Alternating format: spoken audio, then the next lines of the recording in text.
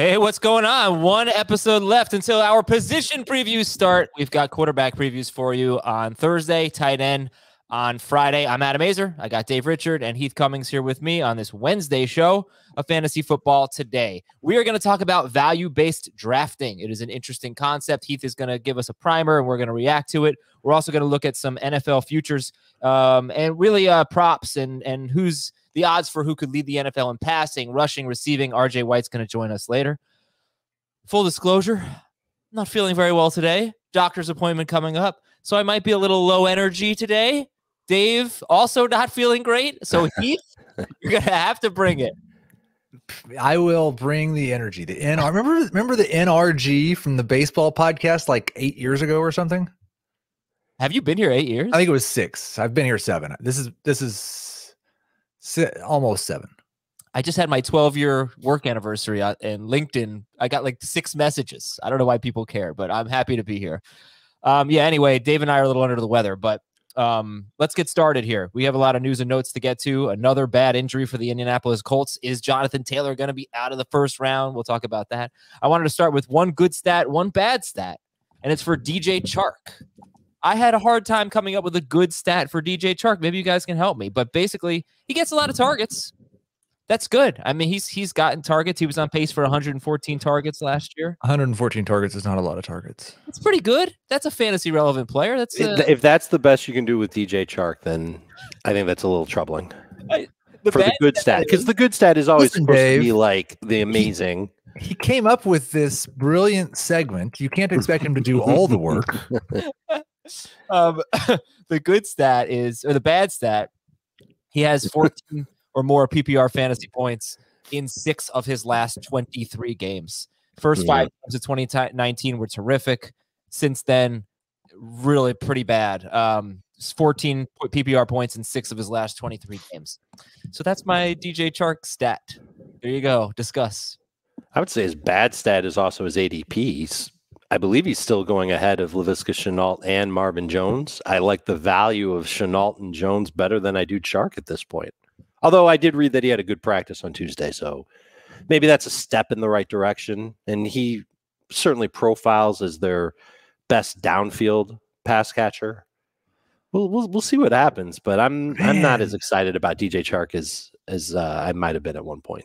That's the thing is I keep thinking like I haven't this idea in my head, and it's generally accepted that DJ Chark is the most likely Jaguars wide receiver to be the number one or, or has the most upside if he does hit. And Dave said he's their best downfield wide receiver. I don't know why he'd be a better downfield wide receiver than Marvin Jones. That's the one thing That's Marvin true. Jones has been really good at. Um, I don't really know why I think he has more upside than Laviska Shenault. Like he he's played three years in the NFL and he has one kind of good year. Yeah. But yeah, and really in that in that year it was five good games at the start, and then he didn't really do that much after. Right. He slowed down. And then last year, I think there was definitely an issue between him and Minshew in terms of being on the same page and being in rhythm. And uh, that can easily change with a quarterback like Trevor Lawrence. But I suspect that Lawrence is going to have a lot of quick passing. I think this offense is going to be a lot of you know, get the snap, throw it, that type of thing. So we we could see a lot of short targets from Lawrence and a lot of completions from Lawrence. That's a good thing too. But I don't know if that necessarily helps Chark. I don't know if they're going to feed Chark targets. You you guys know college football much better than I do. Um, so just bail me out if I say something stupid here. Yeah. But haven't there been quite a few wide receivers come out of Ohio State who didn't necessarily have the numbers that would have made you think they would right. be really good NFL wide receivers, and then so, they got the NFL and had the good numbers. Yeah. So what happened at Ohio State is that they had specific roles for their receivers, and maybe this is something that we need to figure out uh, if if this is what Urban Meyer's going to do. Like McLaurin, I thought wasn't used to his max when he was with the Buckeyes. It seemed like he was more of a downfield threat than anything else. Yeah. Samuel was the gadget player when he was there. Um, there, there's probably some other examples that I'm, I'm just not thinking of, but you think about the the prospects from Urban Meyer's passing game, and and you might be able to do it from Florida too. There were guys that were good, their statistics were good, but they didn't necessarily show everything that they could possibly do. And McLaurin and Samuel are two very clear examples of that. Those guys are doing way more in the pros uh, as far as like a do it all type of pass catcher or player in the case of Samuel. Uh, than than they kind of sort of did at Ohio State. I guess that's not fair to say for Samuel. Samuel did a lot of rushing at Ohio State. Let me bring it back to DJ Chark here, right? Uh, Chark is going uh, since July 1st, 33rd. And then look at the three names ahead of him. I mean, DeVonta Smith, obviously things have changed, but Jerry Jeudy, DeVonta, or I'm sorry, the three names right behind him, just after Chark. Jerry Jeudy, DeVonta Smith, Tyler Boyd. Uh, I, my point is, I don't really get excited to draft DJ Chark, and I'd rather be excited about something. And I could make a, a much more exciting case for Jeudy or even still DeVonta Smith or Tyler Boyd. I don't know how you guys feel. And then it's Deebo Samuel, and then it's Laviska Shenault. I mean, Boyd easily should be ahead of him. Uh, uh, if catches count, there's no question about it. Jeudy should be ahead of him because he's got more upside. And I, I, think you can make the case for DeVonta Smith, just like you said. Smith was ahead of him for me at one point here, but uh, drafting receive rookie receivers with sprained MCLs and quarterbacks who haven't necessarily ascended as a passer, it's kind of making me nervous about Mr. Smith. Okay. I don't know why I said it like that. I, you know, I'll blame it on feeling sick. Anything to add? Adam, you were right. All right. Thank you, Heath. All right. We can move on now. Whoa. Um, yes. I cut that clip from a previous show. Adam, you were right. And I'm going to use it over and over again. Go to cbssports.com slash eBay for our charity auctions supporting St. Jude cbssports.com slash ebay. Very cool things to bid on there. Now it is the start of August. It is time for fantasy football draft prep season, which actually for us, January is time for fantasy football draft prep season. But for most of you, it's August. No better source of daily information than fantasy football today on CBS Sports HQ. I'm not talking about the podcast. For those of you who don't know, we have a live video show, one hour long, Monday through Friday, noon Eastern on HQ. Uh, you can go on CBSSports.com. You can watch it on the CBS Sports mobile app. You can watch it on the CBS Sports app on your Roku, your Fire TV, Apple TV, or nearly any connected TV device. And if you miss a show, well, you can actually watch them on demand on the CBS Sports app on your connected TV. So dominate your league with fantasy football today on CBS Sports HQ. Now, Jamie is the host of that show. Jamie's actually calling me right now. Shame on you, Jamie. You should know I'm on the air. Um, Jamie is the host of that show, and he talks to our CBS guys, other you know reporters that follow teams. He gets some great info. I'm going to try to drop some sound bites in our shows. I got one on the Jaguars running backs for today's show. All right, news and notes. Matthew Stafford has a swollen thumb. Hit his thumb on a helmet. He'll be fine. He's going to miss a few days. Dak Prescott won't throw until next week because they don't want this to turn into something bigger. Quarterback preview coming up tomorrow. So I don't even know who's on the show, but whoever's on the show, you can tell me how you feel about Dak Prescott if you're concerned. Uh, Deshaun Watson was not at Houston's first padded practice on Tuesday, Heath. So what do you make of that? Deshaun Watson not at practice. I, I get the impression that Houston doesn't really want Deshaun Watson to be there, and Deshaun Watson doesn't really want to be there, but he needs to go there or make himself available to be there so that he doesn't get fined. I, as someone once said, I'm just here so I don't get fined. um, do you think that our next note is about Trey Lance? Uh, San Francisco does not have plans to give Trey Lance first team reps at this point. Kyle Shanahan saying that. So who who should you draft first, Deshaun Watson or or Trey Lance? I wouldn't draft either in the first 12 rounds, and neither one's a priority. Most drafts I go through, I don't even consider drafting either in a one quarterback league. But if I was taking one, it would be Watson, only because I don't think either one's very likely to play in the first month of the season. And if Watson plays, I have great confidence that he's a top six quarterback. I don't have quite the same confidence in Lance. But when it comes to Watson, think about the number of hoops that have to be jumped through in order for him to actually get on the field. The Texans seemingly don't want him to play for their team, so they'd have to trade him. The team that gets him would have to be comfortable putting him on the field without, you know, straight up cold, without training camp, without practice, without anything. There's also the issue about whether or not he would be suspended for any issues outstanding off the field. So it feels like there's a lot of hoops for him, whereas Trey Lance just has to wow his coaching staff at some point uh, before the season, or Jimmy Garoppolo gets hurt slash stinks early on in the season, and the 49ers are left with no choice but to move to Trey Lance. I would rather take Lance in round 15 than take Deshaun Watson in round 13 or 14. We, we also have a tweet, which is funny because the news did come out yesterday. And Adam, you were correct in what you read. Uh, Chris Biderman, the senior sports reporter and 49ers columnist for the Sacramento Bee just said Trey Lance just got his first rep with the starters and team drills. okay. See, you- it's happening. Um, all right, let's talk about Jonathan Taylor now. Uh, by the way, Denver's quarterback competition is still even Steven, according to Vic Fangio. So we know Carson Wentz is out five to 12 weeks with this weird foot injury. Well, it's so it's contagious because Quenton Nelson has basically the same exact foot injury. Nelson, you could argue, is their best offensive player. He's arguably the best guard in football. He's an all pro. He's out five to 12 weeks.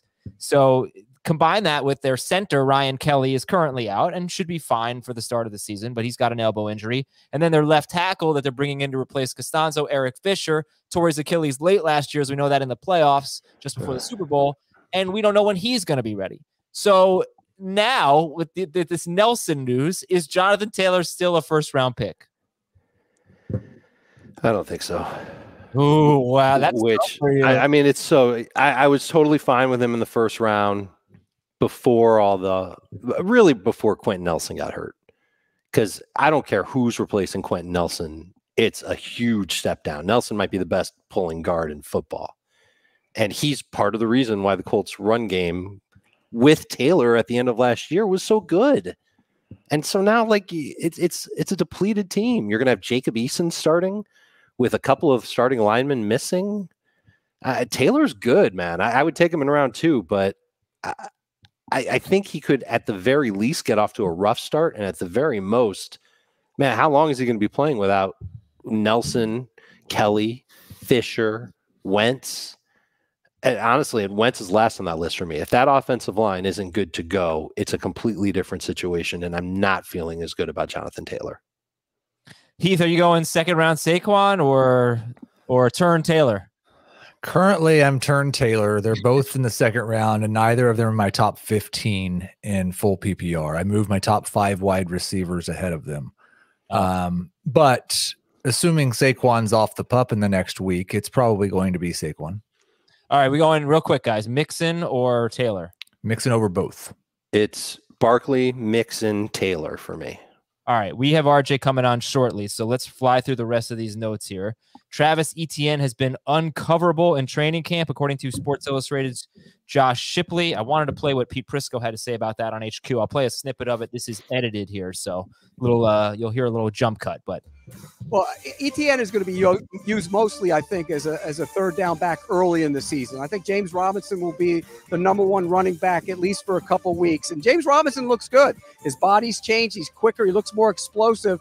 Uh, but you have a guy like Etienne who can provide that big play. I think you have to get him on the field and get him on the field a lot. I think eventually that'll play out that way. Early on, it might be James Robinson and Etienne in the passing game. So, so yeah, there's a follow up there. But but really, what you should take away from that, don't discount James Robinson.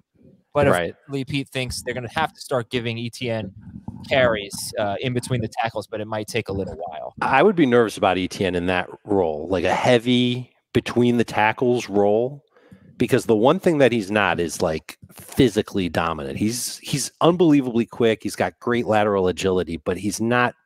He tries to be physical, but anytime a defender got him above the waist, it was a wrap. He he wasn't going anywhere. He wasn't pushing for yardage. He's also not a good pass blocker.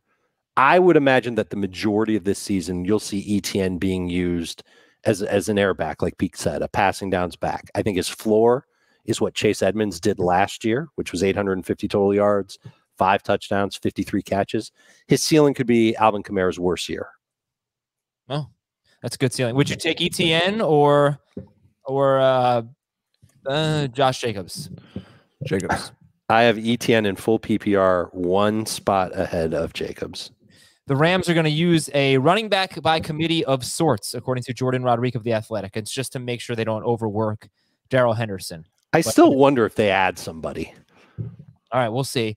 Tyreek Hill missed practice with knee tendonitis. Doesn't seem too serious, but Kenny Golladay left with a leg injury, and that one could be more serious. We'll have to keep an Mhm. eye on that. Remember, And- hamstring cost him the start of last season Right. in and Detroit. Daniel Jones could have been hurt, everybody. There was a brawl at practice, and Daniel Jones was in the pile. What are you doing? I think we need a Twitter poll from you because we've got pretty full reporting on what happened. Somebody got hit hard. Somebody else took offense to it. Someone else pushed him. Mhm. Like, I want to know whose fault was the fight. Was it Evan Engram's fault? Was it Joe Judge's fault? Was it Logan Ryan's fault? Wh- whose fault was it? Uh, Adam? it was Pat Shurmur's fault. They seem to blame everything on Pat Shurmur. Okay. Uh, Not so Ben McAdoo. it was Ben McAdoo's fault.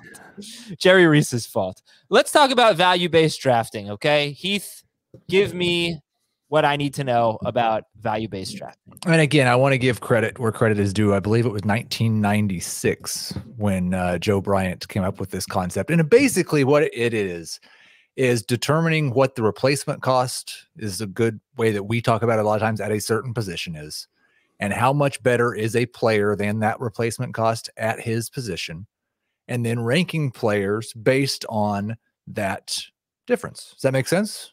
Yeah, It's easy. define, define replacement cost. Well, that's what you have to do. okay. That's like there's there's several steps to this. The first I don't one is you do anything, Heath. you've got to have projections or projections that you trust. You could use anyone's projections for this. Um, I when I go out through the process, I use my own. Um, and then like what the easiest way to determine it, and the way I think that that football guys suggests is look at the top 100. How many players at each position will be chosen in the top 100 in your league? And so they figure anyone below pick 100 is replacement cost. And so in a standard, if using the easiest way to figure that is just look at ADP for the type of league you're in. Now, if it's a wild league, that gets more difficult. But in a you can look at CBS ADP if it's a standard CBS league. You can look at NFC for a half point PPR. You can find PPR ADP. Um, the most recent time that I do it, because about every time I do a major rankings overhaul, I will relook at what ADP suggests now, and that will change a lot in August. Like the top 100 rankings, that's why you'll see some pretty major shifts sometimes, because there can be a pretty big difference if there's 33 running backs going in the top 100 versus 39. But if you assume there's 13 quarterbacks, eight tight ends, 39 running backs, and 42 wide receivers going in the top 100, then each running back will be compared to the number 39 running back. Each quarterback will be compared to the number 13 quarterback, and so on and so Hold forth. on, the, the number 13 or the number four? The guy just outside the top 100? No, the, the guy, the number of picks. the last one in the top 100. Right. Okay, Okay. so that would be Mahomes versus Burrow, who is Right. right. 13. Yep. Um, well, that's the thing. It's not the guy that is currently the 13th quarterback. It would be your 13th quarterback. Okay. because you're saying there are going to be thir- 13 guys taken. So Burrow is my 13th quarterback. However many more points Mahomes is going to score to him, that is his, you could call it the VBD number. I believe the way football guys has described it is the X. Um, you're, you're trying to solve an equation. Um, and then like I will start my top 200 by going through this and then sorting exactly by that number. And then I think there should be modifications made and and they give examples of where they use modifications where i find you run into a problem is when you get outside of the top 30 running backs or you get outside of the top 40 wide receivers and at that point your draft preference depends more on potential upside than what a player's actual projection is um, you know a lot of times like we talked about it maybe earlier, but Giovani Bernard projects as my best Tampa Bay running back in PPR right now. I'm not drafting him first amongst Buccaneers running backs because he doesn't have near as much upside as Jones and Fournette. But if you told me Ronald Jones and Leonard Fournette and Giovani Bernard are all three going to play 17 games this season, I would guess Gio is going to score the most PPR fantasy points because he's going to do his role and the other guys are going to split the less prosperous role. Does that make sense? Yeah. So I, I do adjust once you get outside a certain number eh, within my rankings, but the concept is is rock solid, and it helps us determine like just how valuable is Patrick Mahomes if you think he's this much better. Now, I'll go back to the very first thing. The key is having a set of projections that you trust. Right. So eh, does it turn out though that Mahomes ends up being, you know, a, a first round pick basically? Uh, How does, you know, It- where does he come out in this? Well, and that it it would be different in my projections than it would be in Dave's projections than it would be in Chris's than it would be in and that's one thing we've talked about with Mahomes specifically. Yes, by my projections, he comes out as a first round pick. But the next thing, because it's called value based drafting, you should, if you're in a draft, in an analyst draft, you should not take Patrick Mahomes in the first round. You know you can get Patrick Mahomes in the second round. There's no reason to do that. Now, if you look at CBS ADP right now, Patrick Mahomes and Josh Allen are both have a first round ADP. yeah. Um, Right. he's going to be drafted first in leagues that don't involve us He's going to be drafted in the first round. in the first round. Yes, Yeah, someone will just take him. They'll, They it happens in all types of and standard home leagues. if if my projections are close to accurate, that is not a giant reach. If he is three and a half points better than everyone else, as he has been per game over the past three seasons, he's worth it. So in this scenario, he would be like a 10 and Josh Allen or whoever QB2 is, Lamar Jackson would be a 6.5 basically and it's comparing them to the last quarterback in the top 100. And Right. Except the difference is it's a it's a much bigger number. Okay. Be- because I have Mahomes projected to outscore my number 13 quarterback by like 75 fantasy. Oh, I, I'm sorry. I was doing it on a on a per game basis, and it wouldn't be 10 per game, but it's it's total points you use. Correct. Why couldn't you use points per game? You could. At this, I was at this point, it's no different. Right. So what I was going to suggest, and, and this is just spitballing off the top of my head because I'm sitting here listening to it, Heath, and, and I understand the concept of value-based drafting, but what if you were to take, you know, the number, the, the fantasy point per game number that you think the um, you know, the 13th quarterback, the 39th running back, what that would be. For example, the average fantasy point total in PPR of a number three running back last year based on total finish. So the quarterbacks, running backs rather, ranked 25th through 36 was 8.9 PPR points per game. What if you took that number and you compared it to Christian McCaffrey's projected PPR points per game? That's got to be north of 20. That would be a difference of 11 or so PPR points per game.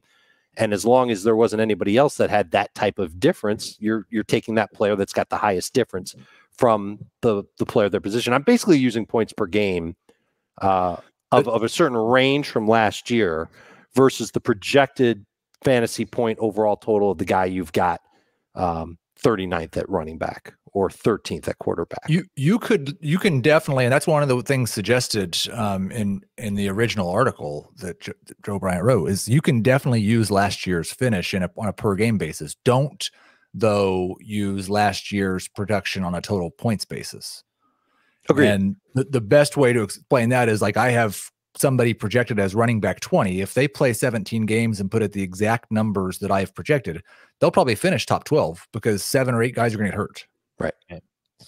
Okay. So do you have any all right, so to, to me, the biggest drawback of this would be it's not as fun. You know, you're just kind of following what the math says. It, it, it to me, it would feel like it sort of takes some of the fun out of it a little. Well, the fun for me, honestly, the, the most fun time of year for me is coming up with the projections. hmm Right. Like that's the fun part. Like the, the fun was in building the math in the first place. Um, if you don't enjoy that process and you're using, especially if you're using someone else's projections, I can see, I still think there's great value in this. And the value is that you now have tiers, which are more valuable than rankings. We've talked about that a lot Yep. of what value is. You might have 16 guys when you come up to pick that are within 140 and 100 and, or 100 and 110 points better than replacement cost in the first round. And you know, like those are the guys you should be choosing from. Mhm. I would say if, if you wanted to, Heath, and tell me if I'm wrong on this, Heath, but uh, if you wanted to do the the cheap value based drafting way, which is what I'm basically suggesting, is you take what that average is for a number three running back, a number three receiver, maybe figure it's somewhere between eight or nine PPR points for those positions, and for quarterback, figure it's right around maybe 17 or 18 points in a six point per passing touchdown league. And you you come up with your own per game average for for the players who you like. So McCaffrey easily over 20. Cook is going to be over 20. Kamara should be right around 20. Henry might be below 20. And you just go on and on. And then once you've got that order all set up, you go into your draft and then you'll be able to recognize, okay, uh, this receiver has a much bigger, you know, say that the best receiver on the board at a certain round is Ja'Marr Chase, and you've got him projected for 14.5. And the average receiver um, uh, that you'd find at number three uh, as a number three receiver would be around eight points. So that's a difference of six and a half points. There isn't a running back that's got that type of a difference left that's available. There's a tight end with that type of difference. Same thing with quarterback. You know who you're taking, and it's based on a number that you arbitrarily put out. You can even scribble it in your own magazine or print out rankings and put the number right there. And it's just, I, I think it would be just the, the easy, simpler way to do your own version of VBD. Yeah, the only thing I would say about that is if you're just like the, you used the word arbitrarily a couple times, I think you should probably base it on something, or I don't like your chances of having very much success. Isn't it based on what you think or what the the fantasy manager thinks a player's points per game average will be? Uh, what is he using to come up with that? Whatever he wants. Or If she, he if he thinks Heath Cummings projections are the best in the world, then he uses he or she uses that. Yeah, put put some thought into it, right? Right, right, right, right. Heath is saying. But okay, so so uh, we're gonna wrap up now because we have RJ coming on. This is actually very helpful. Uh, Heath, if if somebody said, "Oh, okay, I'm interested in value based drafting," you know, what should I do? Where should I start? What would you tell them? Just Well, I think you should probably use my projections because Yeah. they've never got a player wrong yet. Um, no, you should. Again, I think first off, I would highly suggest that you just go to Football Guys and read the the original article, and so you understand the concept better than my dumb self explained it. Um, and then find a set of projections that you believe in or trust, or build your own. That's there's tools out there to help you do that very easily. Um, determine find a set of ADP or last year's results that reflect your league's reality because it would not be very beneficial to use non PPR Mhm. AB, ADP and do it in a PPR draft. gotcha. And then, um, and there's also more information on like depending on how many starters you need and that type of stuff too. But uh, yeah, Cool. that's where I'd go. All right. Thank you to Heath and Dave for explaining that. Hope it was very helpful for everybody. RJ White joins us on the other side of the break on fantasy football today. Welcome back, everybody. Oh, there's RJ. Yay. Yeah. What's up, RJ? Hey guys, how you doing? What's up, RJ? Happy to see you. Good to see you. Quite a greeting. Uh, RJ is going to help us out with some props and uh, odds for who's going to lead the league in receiving and passing and rushing and all those things. And where do you want to start, RJ? Uh, we can start with the passing yards leader. I know you guys want to talk about the yardage leaders on the season. Um, I don't think uh, if you go for a passing yards leader, you don't have to necessarily take a winning quarterback. You know, Deshaun Watson was second in pass yards per game last year, and uh, that team was terrible. Uh, Herbert was fourth, and uh, Matt Ryan was fifth. So if you want to go to the well with like a Justin Herbert, I think he's a solid play at 12 to 1. Um, even if you don't think the Chargers are going to win 11, 12, 13 games, uh, he could still, you know, be up there when, by the time all said and done. Mahomes is the favorite. He averaged about 15 more yards per game than Watson. So it makes sense that he's the favorite. I think he probably does have the best shot of winning, but there's no value with betting him at four to one, five to one, the type of numbers you're going to find for him. Um, Dak is another good name. He's on that tear before the injury. We're not sure, you know, how that injury looks going into the season. I don't know if I play him. My long shot though, in the passing yards leader is a Lawrence at 50 to one. You know, defense is terrible. And Lawrence is going to have to throw a ton week in and week out, racking up a lot of garbage time production. Joe Burrow averaged two, about 269 yards as a rookie. That ranks seventh among qualified quarterbacks. And I think Lawrence probably has an easier schedule playing in that AFC South. So I could see him in the top five of passing yards per game. And at 50 to one, I mean, that's a nice little lottery ticket to have if he's, if he's in the mix and they're just throwing, you know, a, a ton every single game. Just to hammer the point home about not necessarily being on a winning team, Jameis Winston led the NFL in passing in 2019, 5,109 yards. And the Tampa Bay was seven and nine. That was his And I last had year. him. there. I had him that year. I cashed that ticket. I think I had it. what was it? Do you remember 12 to 1 you said? I think 12 to 1. Yeah. Yeah. I have uh, I have three quarterbacks projected over five thousand yards, and so I want to know what their odds are. I have Mahomes, Dak, and Tom Brady. Uh, let's see. Mahomes is going to be f- plus 400. Dak is plus 600. Uh, he's the second favorite. Josh Allen is third at plus 800. And then Brady is next at plus 1,000. So where's Matthew Stafford on I think this I like list? Brady the most. I like Brady the most too from that. Where's Stafford, RJ? Stafford comes in fifth at plus 1,200, tied with Okay. Matt Ryan, Justin Herbert, Aaron Rodgers. Hmm. So, oh, by the way, I should say, RJ, where where are these odds from?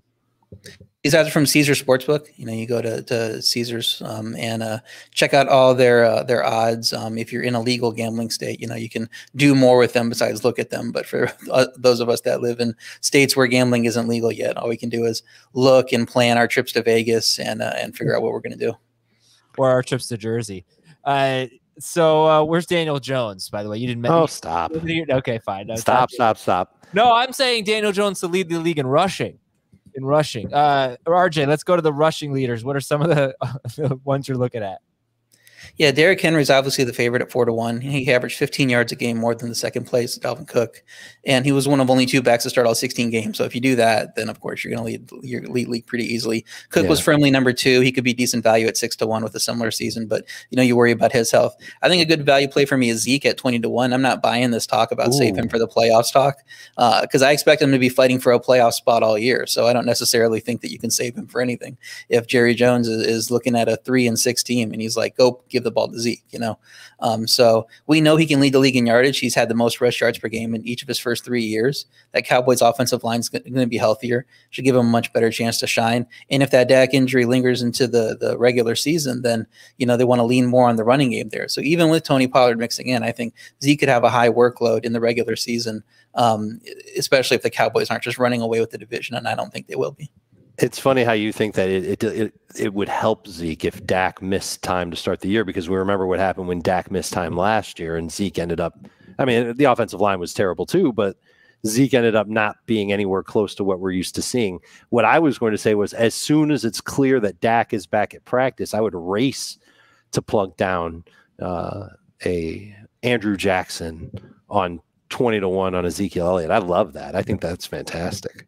It might not even be missing time. It might be Dak playing, but not not as as uh, you know hundred percent. So he's just trying to play through that injury. You still got to respect him considering what he did in the first five games last year. I don't think defenses are just going to load up the box if Dak is playing. Uh, and then if he's less than hundred percent, you know Jason Garrett's going to want to just feed the ball to, to Zeke in that sense, or not Jason Garrett. Uh, they moved on from that dude, but Yes. uh, offense didn't look any better last year.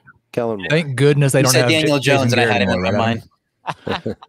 In case anyone's curious, Saquon Barkley is plus twelve hundred, Zeke plus two thousand. So, uh, I got one more super sleeper there. Go go keep keep scrolling, keep scrolling. You're gonna find Myles Gaskin at hundred to one. That's the same odds as James Conner and Trey Sermon. Dolphins did nothing to replace him as a lead back in the offseason. I know there's some sleeper appeal there. Uh, you guys talk about in the fourth, fifth round for him. Miami Yep. probably doesn't want Tua airing it out 40 times a game. So paired with what could be a great defense. There's at least a chance Gaskin sees a lot of value. And he's in the mix for most of the season there. He's in that top five, six range as you get toward the stretch, and he might be able to pull it out. I kind of like Najee at I think it was plus twenty five hundred for Najee Harris. Let's see. Yeah, plus 25. Yeah, I, I like that too. I like that. I'm surprised it's that high. I figured there'd be more sentiment for Harris. That offensive line is not going to be good. I know. Well, I just I just think yeah. also like looking at my I, I don't have anybody particularly close to Henry and Dalvin Cook. It seems like if Dalvin's six to one, I'd, I'd rather just I might just go with him because everybody else probably needs both Henry and Cook to miss a couple games, right? Probably, yeah. And I, if I'm going to take those one of those top two, I would take Cook as well. Just get that little bit of value and think that maybe Henry misses one or two games. plus that defense is better in Minnesota. They might not air it out quite as much as they did last year. And What he's an about efficient Chubb? running back? Chubb plus a thousand, Heath. I mean, compared to Cook plus six hundred and Henry plus four hundred. Yeah, I my brain is is having a hard time putting my projections into um, that type of value, but I have Cook projected for 300 more rushing yards than Nick Chubb, so that difference doesn't seem big enough to me. Okay. All right, let's what go. about Joe Mixon? Do we know where Joe Mixon's Mixon. at? I think it was eighteen hundred. Oh, 2000. Plus That's two not thousand bad. for Mixon, same as Zeke. Yeah, I mean, I'd rather take Zeke, but can get them both. The one that I don't like is Aaron Jones plus eighteen hundred. There's just there's no indication they'd give him the, that work that he would need. Right. Um, all right, all right. Let's go to receiving. Receiving totals. RJ, what's the headliner here?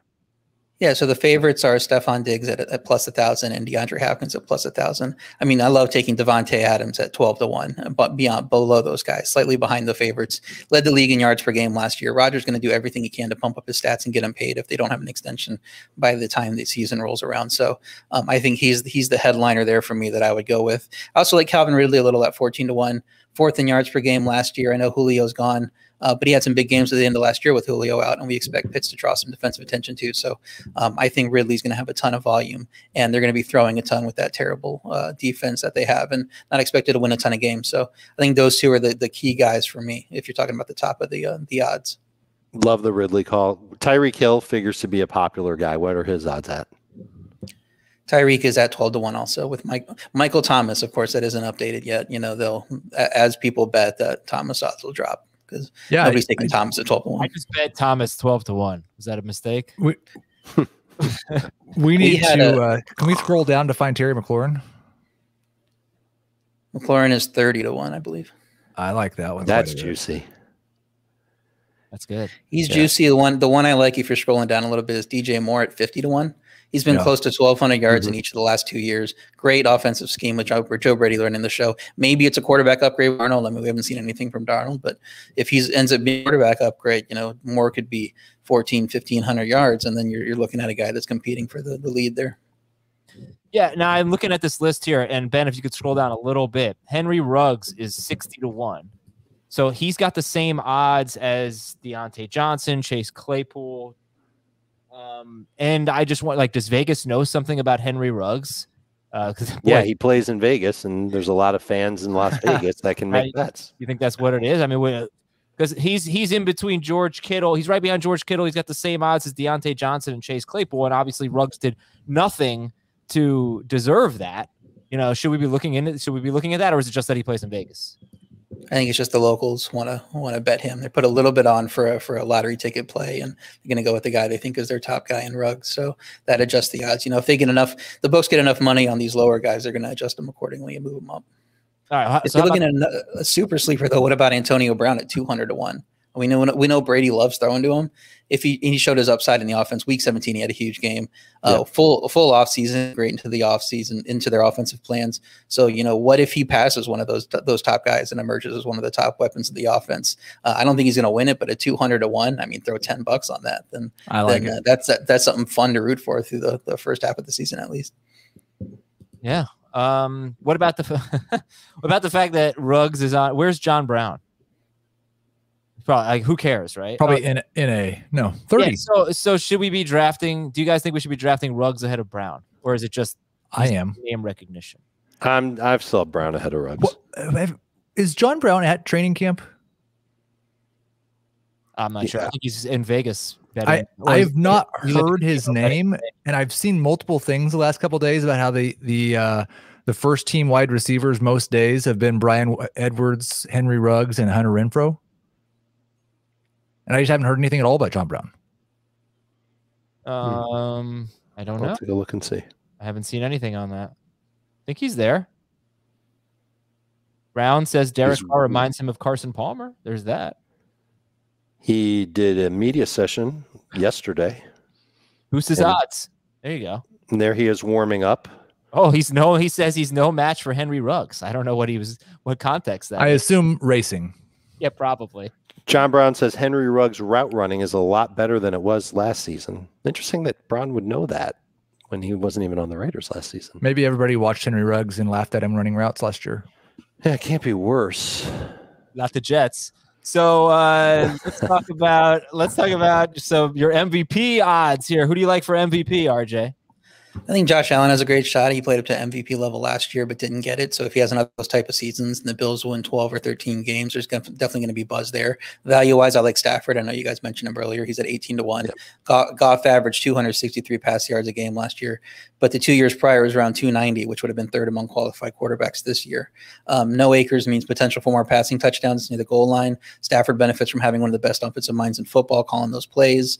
Uh, so I think the Rams are going to be one of the best teams in the NFC too. I think they're going to win, you know, upwards of 11, 12 games. So I think the win will be there. I think the stats probably are going to be there. And as long as he stays healthy, I like him at 18 to 1. He's shorter odds though than Wilson and Murray, not by much, but that's interesting to me. You know, I mean, those guys are better. I think most people would say. Well, in fantasy, they're better. Now, In real life, I think people would certainly say about Wilson. Maybe not. Well, no, yeah, not Murray, but Wilson. I, I'm, I like, man, I, I, I'm surprised there's that little separation between Lamar and Dak and those guys. I like Dak quite a bit at 1600, just because if they, and they win the division and he sets the passing yards record, I think that gives him a decent chance.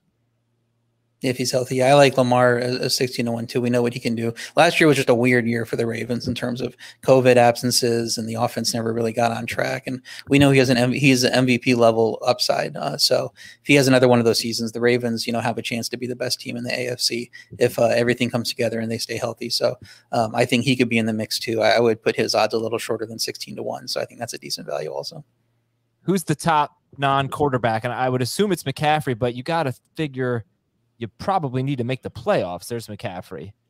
Has anyone ever made the? Has yeah? Henry would be would be probably my favorite non-quarterback. Um, has anyone won the MVP without making the playoffs? Anybody know that? I wonder. I don't know it offhand. I just yeah, don't mess with anything but quarterbacks. I think if you're looking for a long Right. shot, how about Jalen Hurts at sixty to one?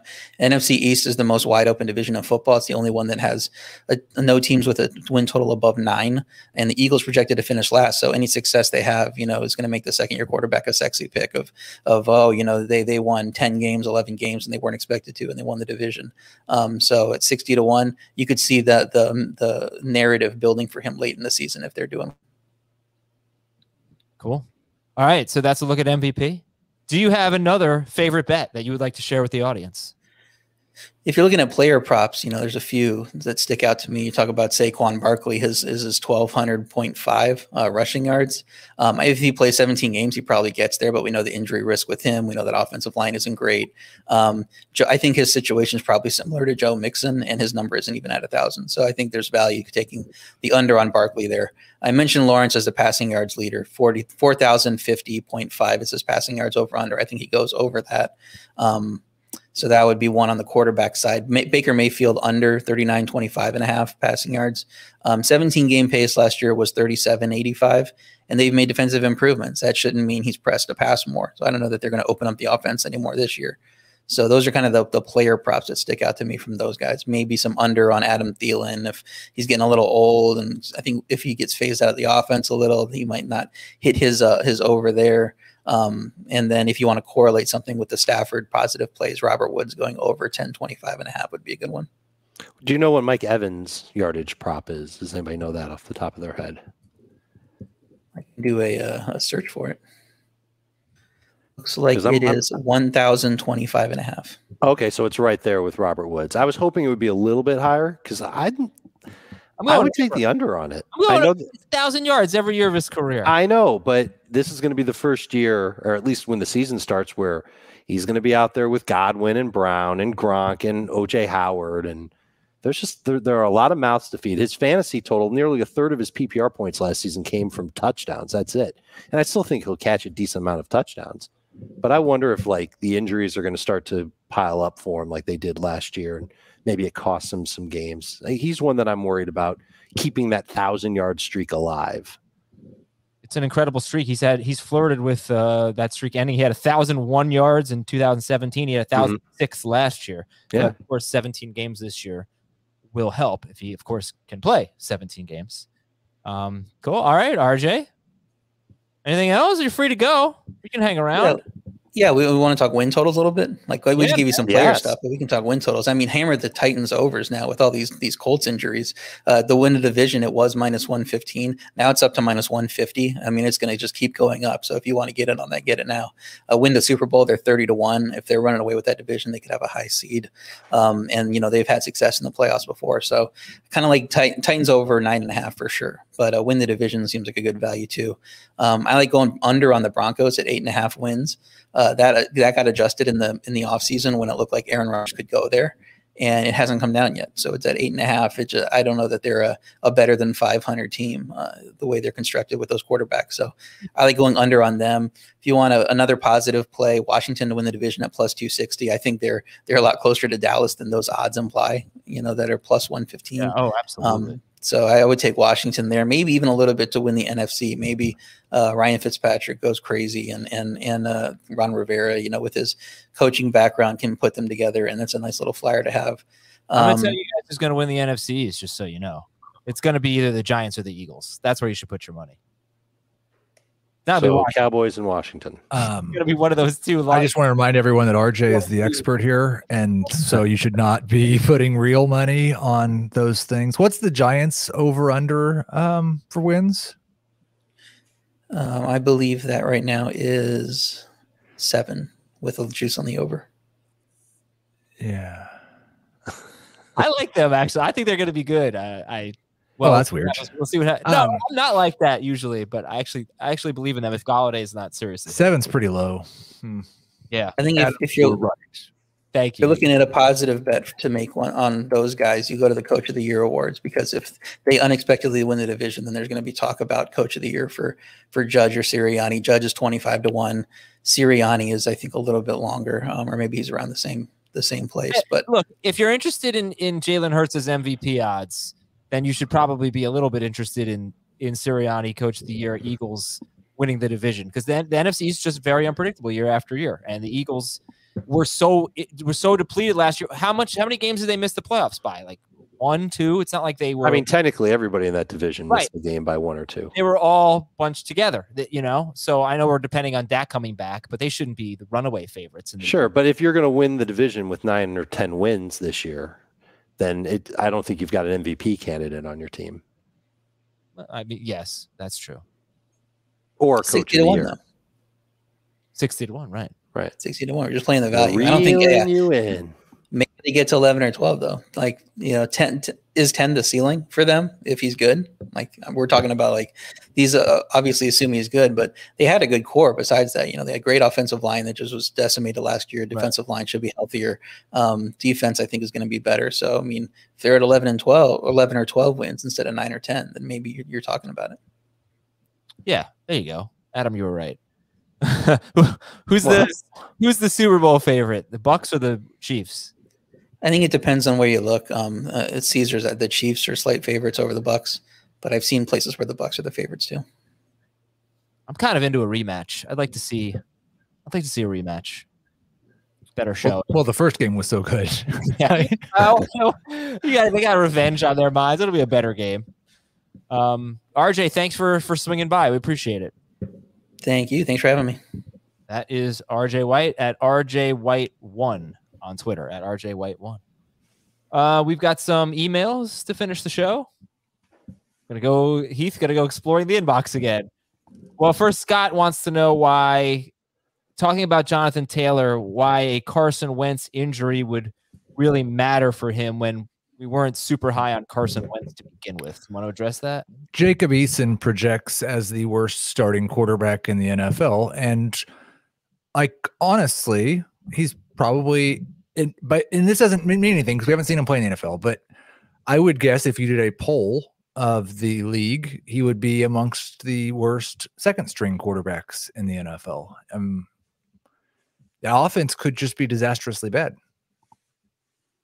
Yeah, eh, right. Exactly. It- you got to consider that. Uh, okay, Ryan says. Ryan says we're too low on, or, or the industry is too low on Julio Jones. Why do you assume that AJ Brown is going to be better than Julio Jones? Well, we've already seen AJ Brown put up huge numbers on a highly efficient basis without necessarily getting a huge target share. We've seen Julio Jones put up huge numbers, but we've seen him do that on a very high volume. And I'm I'm of the belief that the Titans will throw more than they have in the past, but it's not going to be like what the Falcons have done. And so Julio won't Uh, Julio's offense won't throw nearly as much as it has in the past. And Julio himself has to share targets with this other excellent receiver. And I think it kind of it, it pushes Julio into the number two receiver world. And I think it's almost generous if you've got him ranked as a top 15 receiver given his track record for injuries. I- he he I- missed practice today. I think it's because AJ Brown is entering his prime and Julio is exiting his. Yeah, that's a uh, simple yeah. way to say it too. This is from Bila. I don't know what his real name is. He says, I'm struggling with this one. I listened to nearly all of your episodes, but I still stink. I've missed the playoffs for the Oh, last no. five years, and I'm looking to mix it up this year. So he's in a PPR Superflex League, 12 teams. He's got the third pick.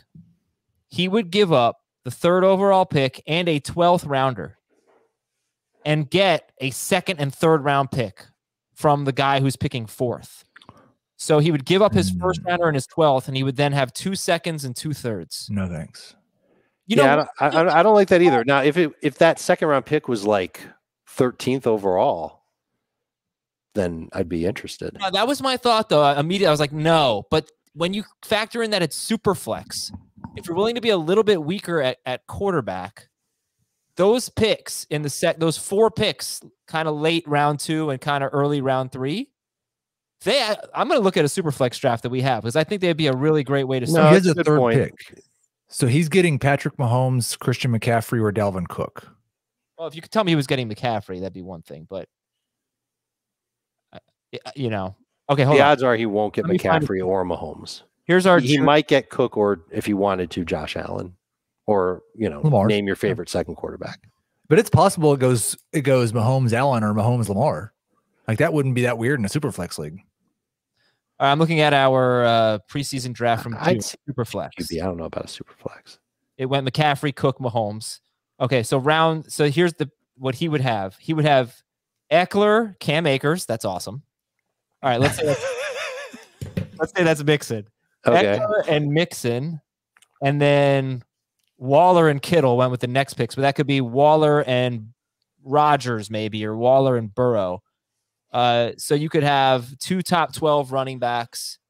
You could have also Davante Adams, but that was because we didn't know about Roger. You could have DeAndre Hopkins, Stefon Diggs. Yeah. You could have a top five wide receiver, two top 12 running backs, and a top 12 quarterback, kind of like a Brady, Rodgers, Burrow at range at. Sure, but you can still have half of those players that you just named plus one of the top three players in fantasy. So the difference is do you take whoever that third player is or the other two players that are going to be there? You know, say it's Ekeler and Rodgers. So you're not taking this guy. You're going to keep the third pick. Yeah, but I, I'd really like to find a way that we can help this guy not be so bad at fantasy football. Well, You- I've been trying for five years. And it hasn't worked. So we I know we have to try Yeah. something new. well bid on something in St. Jude. We can we can uh, help you out. You know, go to what is it, Ben? What's the URL? St. Jude on eBay, ebay.com slash CBS, something like that. Hold on. CBSsports.com slash eBay. There you go. And we can help you out. CBSsports.com slash eBay. That is going to do it for our show. For Dave, for Heath, for Ben, for RJ, I'm Adam. We'll talk to you tomorrow with the quarterback preview.